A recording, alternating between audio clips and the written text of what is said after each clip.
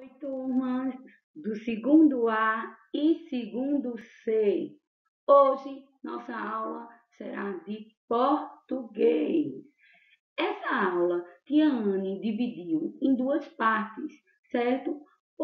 Para facilitar o entendimento e não ficar uma aula muito cansativa.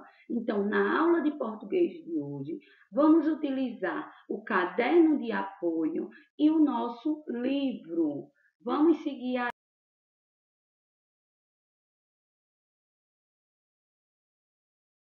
No nosso livro, é, página 87, aqui eu vou ter uma pequena explicação do que nós vamos ver.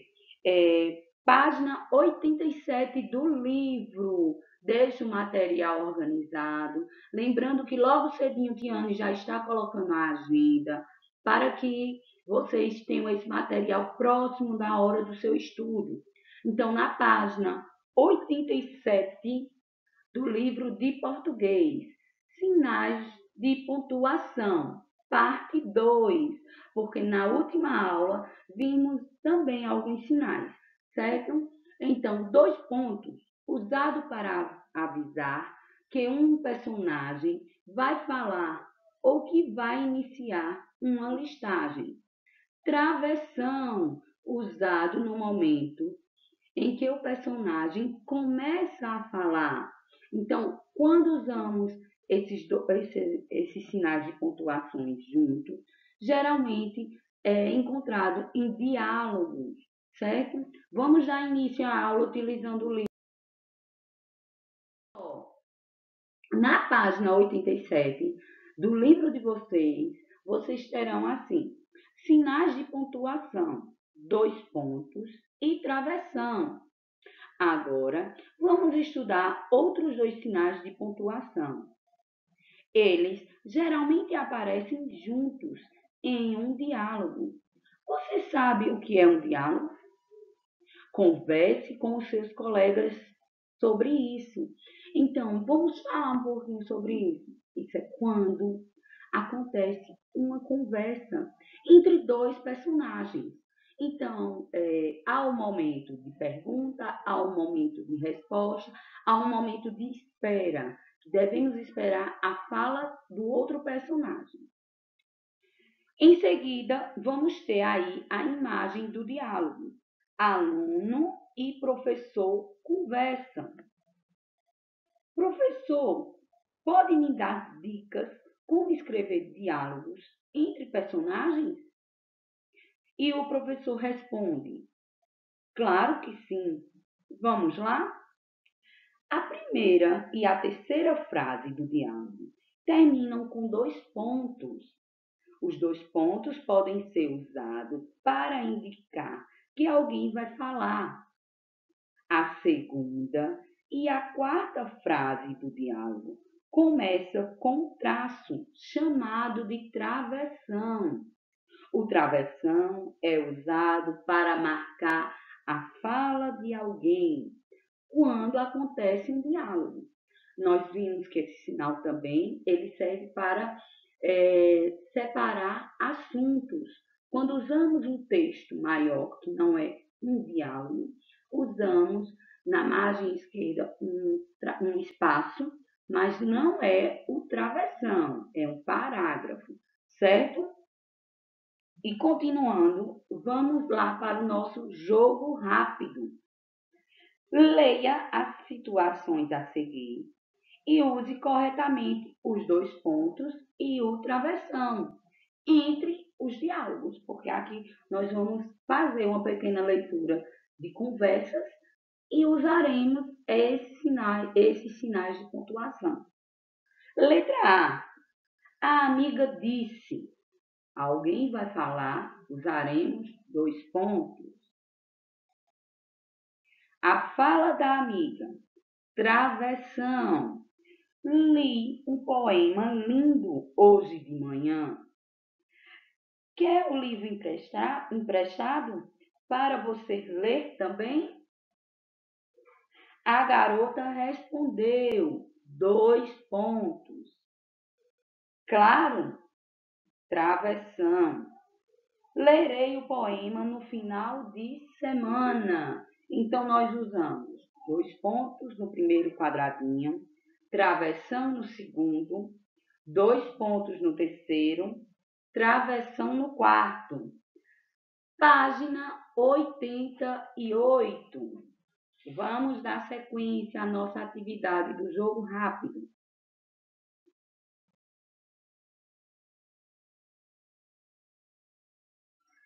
Diz assim: letra B. A mãe elogiou a amiga da filha. Dois pontos. Então, o que ela falou? Travessão. Ela é uma boa menina, muito atenciosa e confiável. Letra C. A professora recomendou dois pontos. Ela vai falar. Travessão para a fala do personagem. Lembre-se de ensinar para uma, um familiar o que aprenderam hoje. Lembre-se o que lembre-se de ensinar para um familiar o que aprenderam hoje. Letra D. A aluna a aluna que encontrou Desculpa, gente. A aluna que encontro diariamente na biblioteca disse. A aluna que encontro di, diariamente na biblioteca disse. Dois pontos. Travessão. Aquele livro é encantador. Ela gostou de ler o livro, né? Letra E. No momento do intervalo entre as aulas, Marina desenhou uma amarelinha no chão e perguntou à turma. Dois pontos. Ela vai fazer uma pergunta. É, vai haver a próxima fala do personagem, né? Vamos brincar de amarelinha? Travessão. Alguns alunos responderam com alegria. Dois pontos. Travessão. Vamos. Letra F. Joana falou para os seus alunos. Dois pontos. Em seguida, a fala de Joana. Travessão. Somos diferentes e especiais. Devemos respeitar uns aos outros e também celebrar as diferenças. Ponto. Letra G. Sara exclamou. Então ela vai falar. Dois pontos travessão. Uau, essa peça de teatro foi maravilhosa. Então, utilizamos o ponto e o travessão entre as conversas dos personagens, entre o diálogo. No número 2, as frases abaixo estão fora de ordem e o texto não está fazendo sentido. Descubra a ordem certa de cada frase e reescreva o texto. Então, dentro do lilás aí, ó, vocês vão acompanhar comigo, vai ter uma frase. Travessão, um pedaço de bolo. Maria perguntou para Lucas. Lucas respondeu: O que você vai comer? Então, vamos organizar a conversa. Fazendo a leitura das frases com calma, vamos organizar. Frase 1. Maria perguntou para Lucas dois pontos. Segunda linha. Travessão.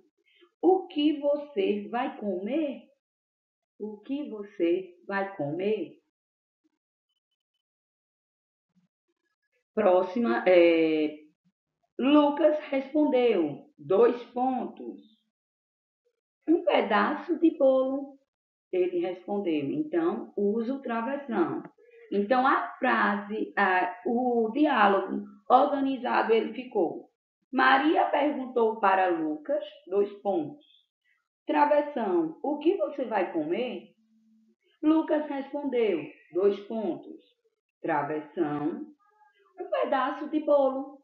Então, essa é, foi a atividade dos sinais de pontuação, de pontuação, travessão e dois pontos, que é, geralmente é utilizado em diálogos, certo? Atividade no caderno de apoio, página 32, vai ter aí a atividade de casa, ó, sinais de pontuação, travessão, dois pontos. Primeiro, coloque a pontuação adequada nos espaços abaixo e depois leia. Duas pulgas estavam conversando quando uma perguntou para a outra: Amiga, você faria? O que você faria se ganhasse na loteria? Ela respondeu. Ela pensou um pouco e respondeu: Ah, eu compraria um cachorro só para mim. Segundo, de acordo com as cenas, de acordo com as cenas, escreva as perguntas e responda. Não esqueça da pontuação. Então, vocês vão observar essas duas cenas aí, ó. As crianças indo para a escola e as crianças brincando com os pais, certo? Essa atividade aí é a atividade. Aí segue a agenda do dia. Sexta-feira, 15 de maio de 2020. Sinais de pontuação no nosso livro, página 87 e 88 e o Para Casa de hoje, apenas a página 32 de português, certo? No nosso caderno de apoio. Um beijão, um abraço forte em algumas crianças que estão deixando um recadinho para mim na plataforma. Tiane, tá vendo? Ó? Eu até anotei os nomes aqui. Bianca, Davi Alves, Maria Sofia Mesquita, Marina Luiza, Carlos Davi, um beijão. E Guilherme Henrique também está visitando a plataforma. Gente, po podem deixar o recadinho que no final do dia, Tiane sempre está respondendo, tá bom? Um beijo no coração de vocês. É, hoje eu falei o nome de quem eu vi os comentários lá, lá na plataforma, tá bom? Um beijo no coração de vocês, um bom final de semana. Aproveitem é, esse momento sem aula, que para poder brincar mais um pouquinho. E Tiana está muito feliz com todas as mensagens que está recebendo. Logo, logo isso vai passar. Um beijo no coração. Tchau.